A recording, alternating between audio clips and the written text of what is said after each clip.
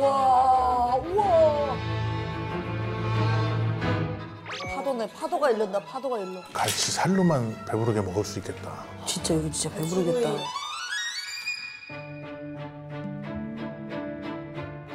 갈치구이 하나 추가요. 네. 갑자기 얘가 나갔어 너 혹시 봐봐 얘 얼굴. 정신 차려, 해봐봐. 해봐봐, 정신 차려.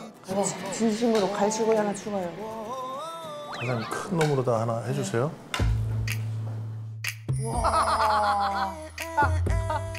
아, 너무 행복해. 우와. 야, 그냥 젤리 아니, 같아. 갈치라고 하면 원래 좀 눈치 보면서 한 조각씩 먹는. 거잖아. 와 숟가락 때. 뗀다 뗀다. 야, 야 이게 1리터겠다. 이게 1리터. 그럼 사장님 제주도 시집 오셔가지고 이거 배우신 거예요? 네.